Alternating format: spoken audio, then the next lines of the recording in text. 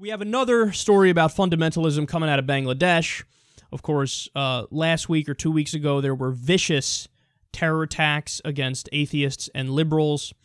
Uh, and now we have this quote A court in southern Bangladesh sentenced two Hindu school teachers to six months in jail for making abusive remarks about Islam that led a mob to attack their school, a magistrate said Tuesday.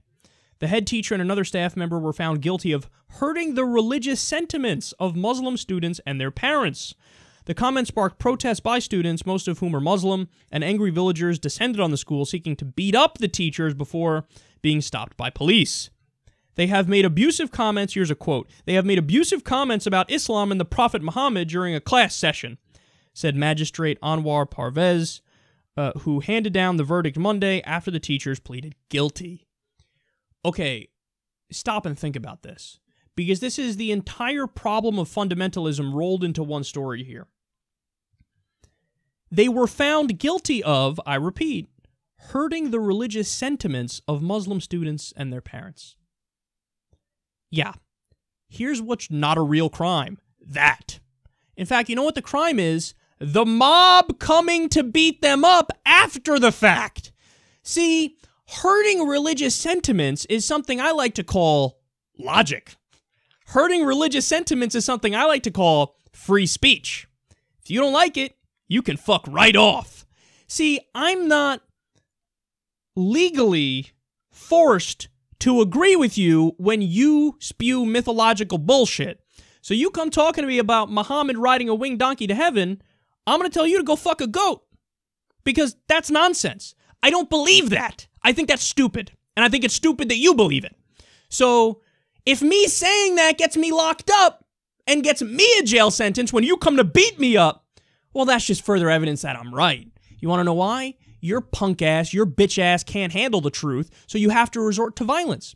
See, if you were really correct, you know what you could tell me? No, no, no. I know I'm right. Here's how I'm right.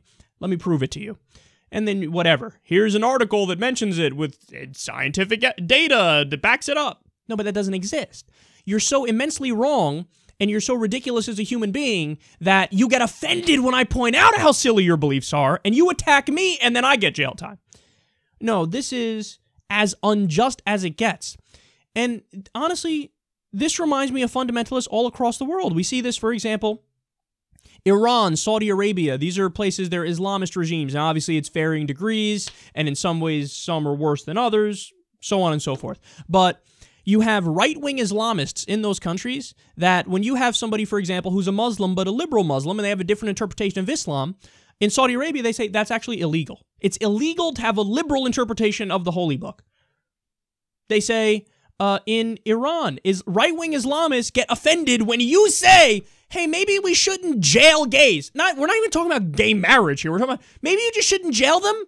I'm so offended. You've offended the prophet and you've offended me and my religion. No, no, no, no, no, no. Look at the trick they're doing. As they victimize you, they claim that they're the victim. That's what's happening here. As they put down everybody around them, they claim that they are offended and they are under attack and they are the victims. It's the oldest trick in the book, man. You know, we've seen it here with fundamentalist Christians. Go look at any Pat Robertson episode and he'll lay it out for you. Oh, Christian ideology is under attack. There's a war on Christianity in the country. And what's his reasoning? Because we treat gays equally now. War on Christianity. No, no, no. You are waging the war on gays. That's what's happening. When they defend themselves, you're not under attack. It's not offensive against you. It's not putting you down. It's not suppression of your rights. Look at this. This is exactly what this is teachers express their rights, uh, express their their beliefs. Hey, I don't believe in religion. Hey, I think that this is not true. I think it's silly. You've offended the sensibilities of my religion, so I will lock you up. And a mob comes to beat them up. The mob doesn't get the time. Let me repeat the mob doesn't get time in jail. The mob does not. The mob is free to go because you had it coming. Because you said, hey, your prophet's bullshit, and I don't believe it. The moral system is just twisted. The legal system is twisted. No. People are allowed to say whatever the fuck they want to say, and if you don't like it, you can get over it. And guess what? You have a right to insult atheism. I don't agree with you. I think you're wrong. But you can insult me, and guess what? I'm not going to come with a mob to beat you up. Why? I'm confident in my beliefs. I'm not insecure in them, so I know I'm right, and I know I'm going to win in the realm of ideas. So I don't need to beat you up because, see, I can beat you in a debate and a discussion, something you can't do.